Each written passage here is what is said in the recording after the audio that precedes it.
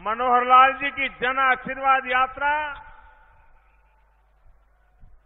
आज भले ही रोहतक में समाप्त हो रही है, लेकिन इससे साफ़ हो गया है कि आने वाले समय में भी हरियाणा का आशीर्वाद किसके साथ रहेगा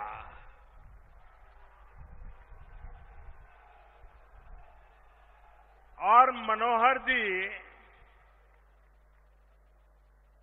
पाँच साल पहले जब दायित्व संभाला, तब भांति भांति की बातें, दो हज़ार एक में जब मैं पहली बार मुख्यमंत्री बना, और जैसा मेरे लिए मैं भांति भांति की बातें सुनता था मनोहर लाल जी के लिए भी। लेकिन पाँच साल के एक निष्ठ अथक पुरुषार्थ का परिणाम है कि आज हर परिवार मनोहर बन गया है।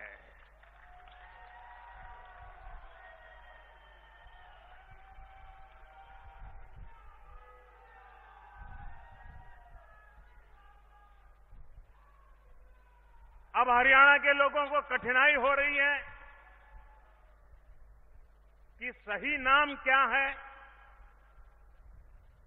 कोई नमोहर बोलता है, कोई मनोहर बोलता है। तो एक में ही दोनों समाहित है नमोहर भी है, मनोहर भी है।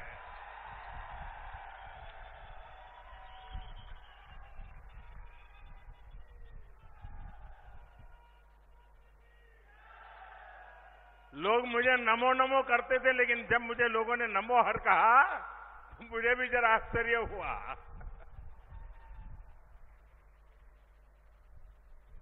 भाई और बहनों, विकास के रास्ते पर चलते हुए गरीब, पीड़ित, शोषित, वंचित की सेवा करते हुए जन विश्वास मिलता है। आज की ये सभा उस जन विश्वास को एक और मोहर लगा रही है।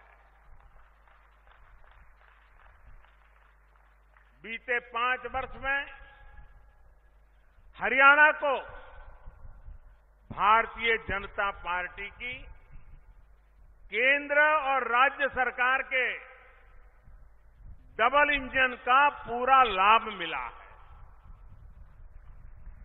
अभी हरियाणा में केंद्र सरकार की मदद से लगभग पच्चीस हज़ार करोड़ रुपए के बड़े प्रोजेक्ट पर काम चल रहा है।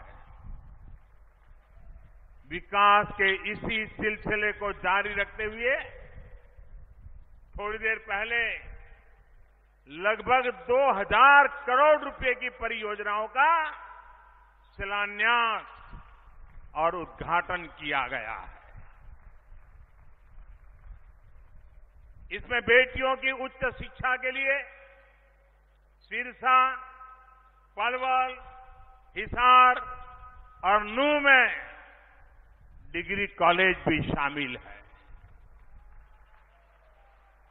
मुझे खुशी है कि बेटी बचाओ, बेटी पढ़ाओ अभियान को सफल बनाने के साथ ही यहाँ की बीजेपी सरकार बेटियों की शिक्षा पर व्यापक बल दे रही है। मैं मनोहर जी, उनकी टीम को बधाई देता हूँ। यहाँ आसपास के जिलों में बेटियों के अनुपात में जिस तरह वृद्धि हुई है, इसकी चर्चा पूरा देश कर रहा है। साथियों, कॉलेज के साथ साथ पानी की परियोजना सोलर स्ट्रीट लाइट का काम, स्वास्थ्य से जुड़ी सुविधाएँ स्मार्ट व्यवस्थाओं से जुड़े प्रोजेक्ट का शुभारंभ भी आज यहाँ हुआ है। इसके अलावा यहीं रोहतक में करीब 600 गरीब परिवारों को घर भी दिए गए हैं। और एक मेगा फ़ूड पार्क का शिलान्यास भी किया गया है।